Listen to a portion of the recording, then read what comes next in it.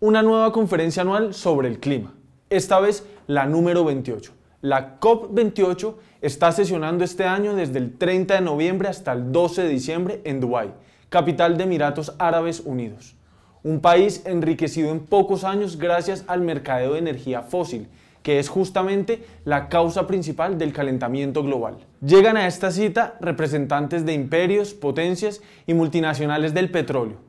Llegan presidentes y jefes de Estado y de gobierno de países periféricos. Llegan voceros de movimientos ambientalistas. Llegan muchos más. La disputa será intensa, aunque el resultado, como en citas anteriores, está cantado de antemano. En esta ocasión, los líderes mundiales y los ambientalistas llegan a la cita con dos evidencias que golpean sus rostros e intereses. Primero, ya estamos en emergencia climática. Segundo, los países más ricos, en especial Estados Unidos, continúan evadiendo su responsabilidad en esta emergencia climática. Por lo anterior, el debate de este año se centrará en la justicia climática y el financiamiento, en el cómo compartir los costos de los desastres climáticos, en la tan necesaria transformación de los actuales sistemas de energía y de los actuales usos del suelo en el planeta. La primera COP sesionó en Berlín en 1995. En términos de resultados, los estados y gobiernos de todo el mundo no tienen mucho que mostrar.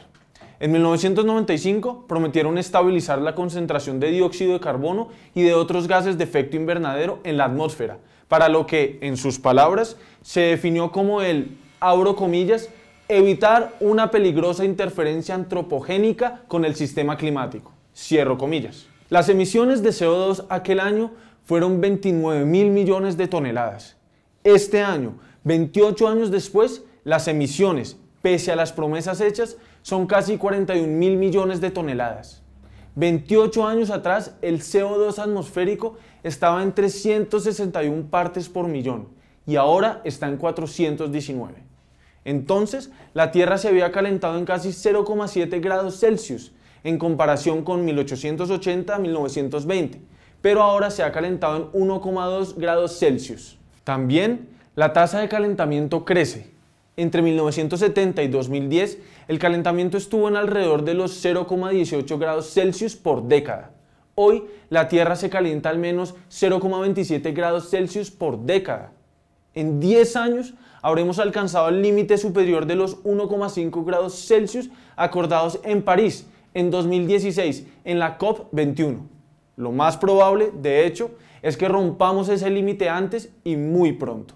Como resultado, los desastres climáticos se intensifican. Inundaciones, sequías, olas de calor, supertormentas, megaincendios y más, que causan muertes, desplazamientos y daños millonarios con pérdidas de 275 mil millones de dólares estimadas para 2022. La humanidad tiene claro los retos que enfrenta. Primero, cambiar los combustibles fósiles, carbón, petróleo, gas natural, por energía de carbono cero, eólica, solar, hidráulica, geotérmica, bioenergía y nuclear, dependiendo de la ubicación. En este proceso, el reto es que la producción de lo alternativo no exija más o mayor megaminería, consumo de agua y consumo de otros recursos que sigan ampliando el nefasto cambio climático. Segundo, transformar el modelo de desarrollo imperante que, como es conocido, va tras un desarrollo sin límite alguno, potenciando con ello un consumo destructor que para perpetuarse y sostenerse en el tiempo requiere que se mantenga la demanda cada vez mayor de energía y de multitud de minerales, lo cual conlleva a la prolongación de extractivismo, con todos los males que ello trae consigo. Se hace necesario un nuevo modelo social y económico para vivir en armonía con la naturaleza y con todas las especies que hacen parte de ella. Se necesita menos consumo, menos desechos, menos acelere en la vida diaria. Se requiere una reorganización de territorios y poblados para que la necesidad de transporte motorizado sea la mínima posible. Necesitamos menos desechos, Necesitamos controlar la deforestación. Debemos lograr la transformación de las multinacionales en bienes de la humanidad. Es preciso procurar que haya más participación y poder ciudadano para decidir sobre los modelos de vida urbana y rural. Estos retos son inaplazables para lograr, de verdad, ponerle control a la catástrofe a la que nos acercamos como especie. Todo esto es posible pero son retos que superan este tipo de cumbres e implican otras luchas para toda la sociedad. Por ahora, en la COP28 se debatirá sobre cómo compartir los costos que derivan de las emisiones de gases de efecto invernadero. Esos costos son tres. Primero, costos por pérdidas y daños causados por desastres relativos al clima. Segundo, los costos de adaptarse al cambio climático, es decir, los costos de hacer una sociedad a prueba del clima. Tres, los costos que implican reformar el sistema energético. Se trata de pérdidas, daños y adaptación. Y los causantes de la crisis climática deben ayudar a pagar por los que sufren la crisis pero tuvieron poco que ver con sus causas. Es decir, los imperios, potencias globales y multinacionales deben cubrir muchos de los costos pagados por los países sometidos a las políticas impuestas por quienes dominan el planeta.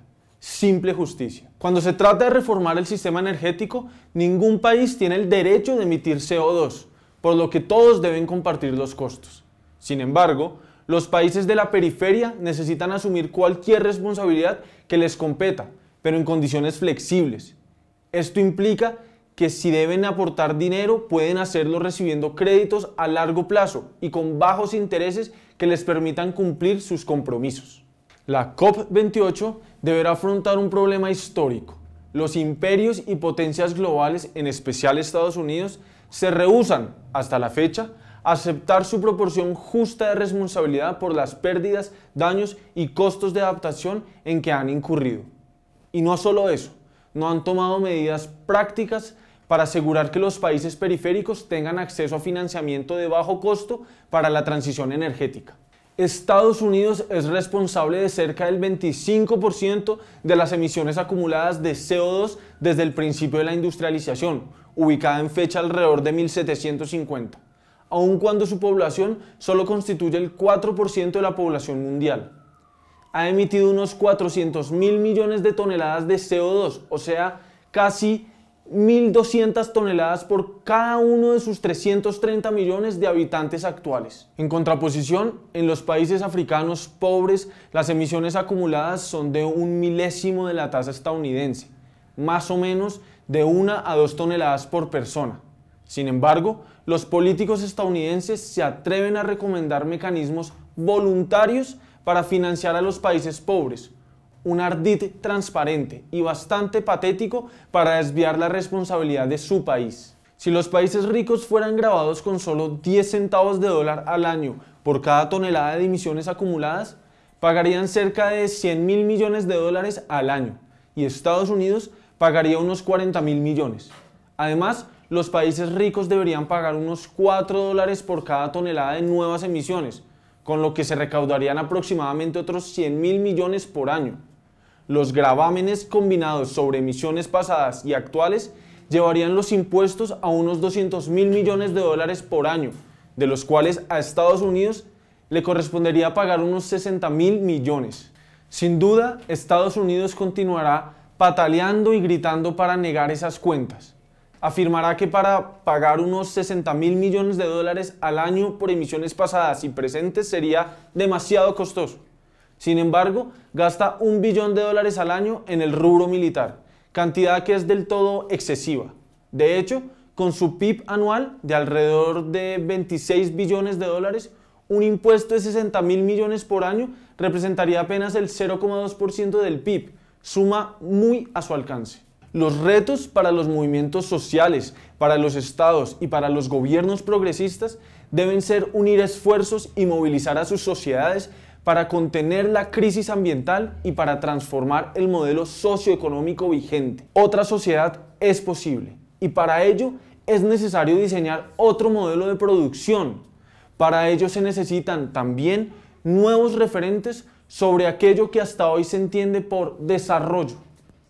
Es preciso tener otra visión de la vida digna y de la naturaleza, en la cual el ser humano deje de asumirse como el centro de todo y como se desprende de la visión occidental amparada incluso en textos fundacionales como la Biblia.